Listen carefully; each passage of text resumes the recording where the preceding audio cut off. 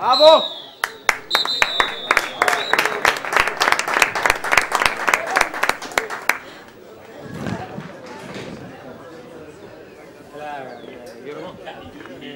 Der Endstand im dritten Airport Cup Spiel zwischen Napoli Nicosia und AC Sparta Prag.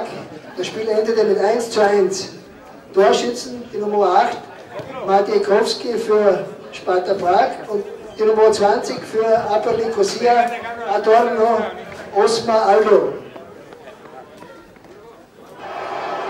Wir bedanken uns für Ihren Besuch und wünschen Ihnen eine angenehme Heimreise.